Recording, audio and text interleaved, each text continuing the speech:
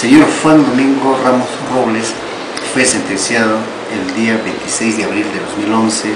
a las 12 y 30 de la tarde en el primer juzgado penal de Pasco, a cargo del doctor Luis Enrique Tapia. Es una sentencia condenatoria contra el indicado señor, quien fue director, hoy es exdirector del centro penitenciario de Pasco, por tres delitos que ha concluido entre el Ministerio Público y el Poder Judicial respecto al juzgado, por encubrimiento personal, incumplimiento de deberes funcionales, así como favorecimiento a la fuga. Este caso, pues después de haber ya concluido, donde había tres actores, una de ellas fue absuelto inicialmente en el caso cuando estaba a cargo el, doctor Tabraj Cristóbal, que había estado extinto.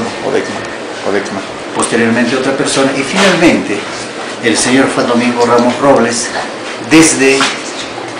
septiembre del año pasado ya estaba siendo citado permanentemente y a la postre, el 26 de abril, fue sentenciado. Eso quiere decir de que la sentencia se está ejecutando, no obstante que existe un recurso impugnatorio y que ya posiblemente va a ser elevado para que conozca en segunda instancia la salamista de la Corte Superior de Justicia de Pasco. Por lo tanto, este caso por el cual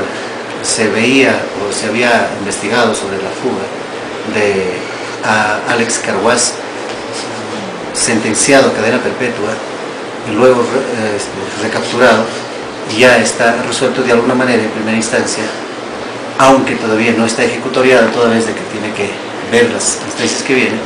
sin embargo, ya se expidió la sentencia. Esa es la que les puedo referir. En esta primera instancia, en todo caso, ya se habría comprobado algunos indicios de la participación de este ex trabajador. Eh, desde luego, para la independencia y el criterio que tiene el juez,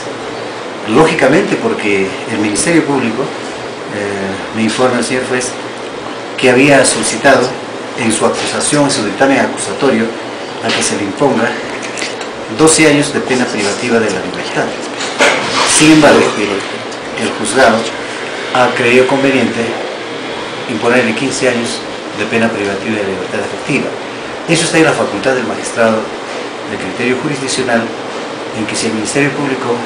puede solicitar, como en este caso 12 años, pues puede incrementar pues, teniendo en cuenta los extremos y los márgenes que el Código Penal lo establece para estos delitos. ¿Qué nivel de participación habría tenido este ex trabajador del penal en la fuga de ese arreo? Bueno, eh, de acuerdo acá, eh, lo están considerando por estos tres delitos como responsable, en todo caso como autor, Entonces, por eso es de que está siendo efectiva la pena y bueno, ya está en el centro penitenciario el señor Juan Domingo Ramos Robles eh, como